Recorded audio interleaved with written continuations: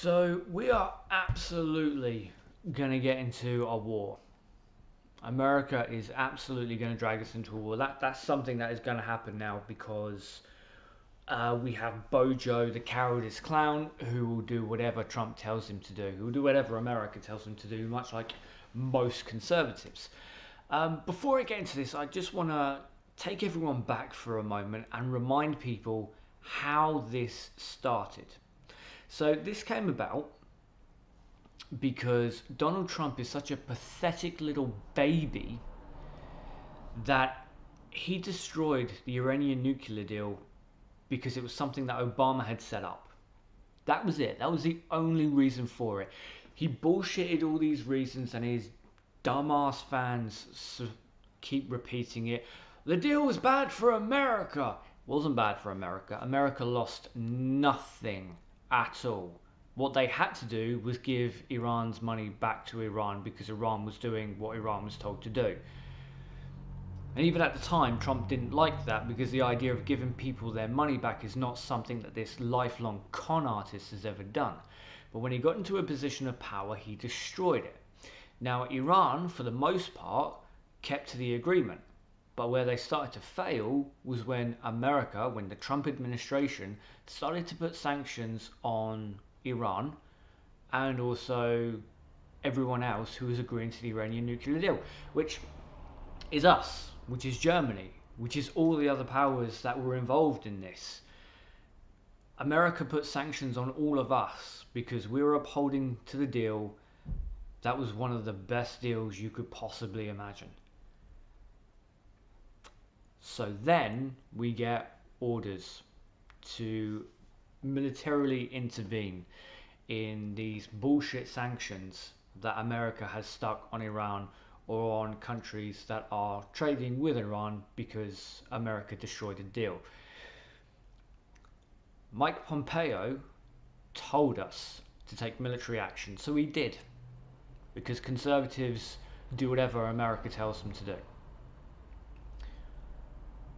Then we get into a bit of trouble and we call America for help. Mike Pompeo said, jog on, son. So we went back to the EU, saying, EU, uh, we're in trouble here. Give us a little hand. Fuck. Okay. So that spirals forward. Now, Iran have been going uh, back and forth. Uh, they've shot down a few drones um, from America, and they, they've made it perfectly clear they don't want, or at least most of the Iranian government does not want a war, but they will absolutely not get dicked around. This is not Iraq. Okay, this is not a small Middle Eastern country. This is a country whose missiles can hit the UK. This is a country with an actual army, a considerable bloodbath.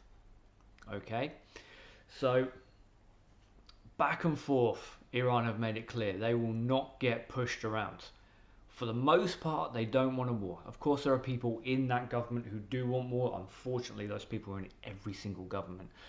Um, but for the most part, they've been saying, we don't want to go to war, but if you keep pushing, we're going to fucking fight. So then we speed forward to what's happened in the last seven days. Uh, and that's Iraq. Iraq said last year, I believe, maybe the year before, they are tired of America being in their country. And remember, all these Brexiteer Brexiteers screaming about how important sovereignty is. Iraq is a sovereign country. If they don't want you in their country, get the fuck out. Uh, but the, the US pretty much ignored that. There were uh, ongoing negotiations and trying to smooth over some bad blood.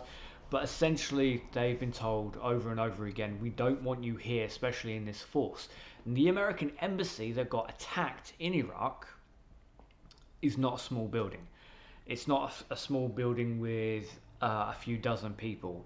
It's a few hundred people operating out of this building and the Iraqis did not like it. So there was a protest.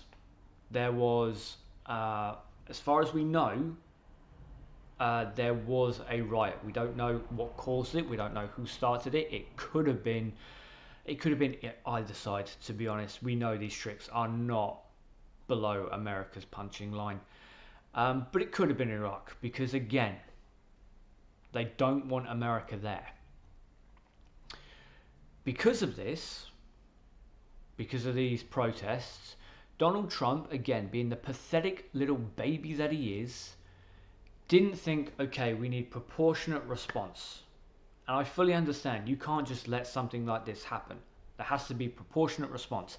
But Donald Trump being the little baby, the moron, the pathetic little man child, decided he was just gonna murder people instead.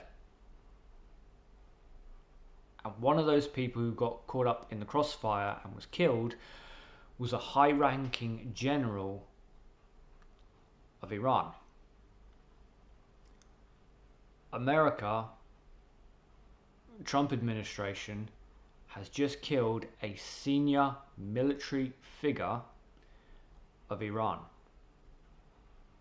That is an act of war. Iran is not going to take this line down. They're not going to sit back and say, okay, well, you know what? Shit happens. Because of the years building up to this.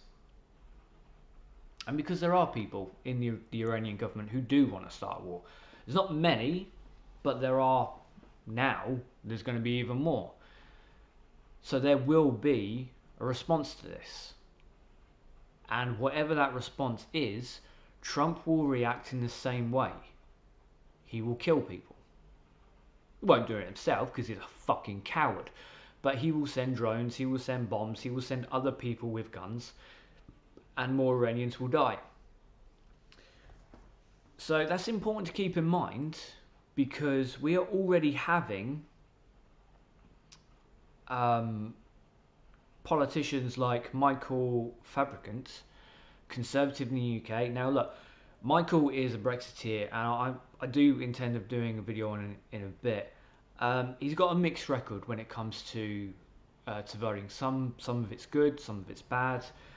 Um, but he was a massive cheerleader for the Iraqi war, and now he's attacked Corbyn um, because again Corbyn is a pacifist, uh, saying a measured response is needed. We need cooler heads to prevail in this and Michael's coming out with the, the same old trop of fuck him, let's just kill him. More or less what he said during the Iraq War.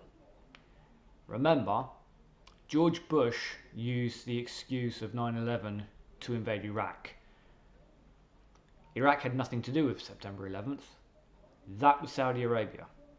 Tony Blair used the excuse of WMDs. There were no WMDs at all. No one said there were WMDs, even our own intelligence. We now know we're saying there are no WMDs. But still, Michael Fabricant was one of the cheerleaders of that. Just as a bit of context, in the Iraqi war, uh, direct or indirect deaths, there were 460,000 deaths. That was, uh, again, either direct or indirect.